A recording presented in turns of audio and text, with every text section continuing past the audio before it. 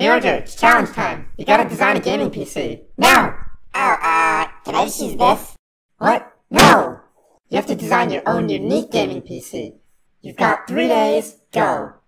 Fine.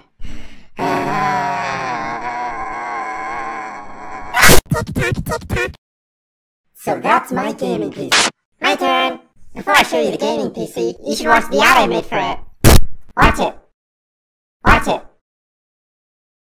Don't you just get bored of your boring old gaming PC? What? No? I said, aren't you bored of your boring old gaming PC? No.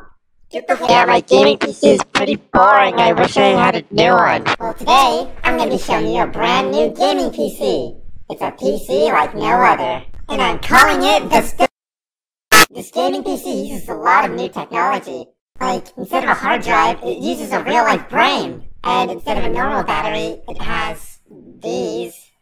And of course, it has the best graphics card to date, the GTX 960.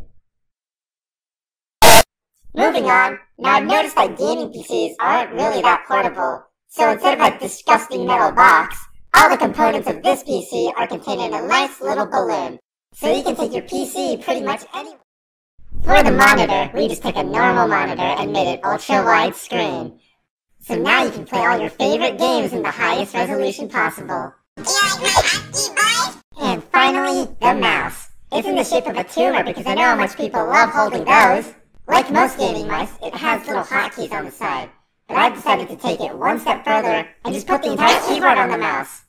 This is the most advanced PC you'll ever see. And it doesn't even cost a penny. All it costs is 25 weeks of hard work, all-nighters, mental suffering, backstabbing and lying to those closest to you, and in the end being hated by thousands of people. So get your very own stick today! So here it is. This is actually a pretty cool PC. Where'd you get the stuff to make it? Uh... It simply blows. Doesn't really matter. Anyway, good job. Now leave.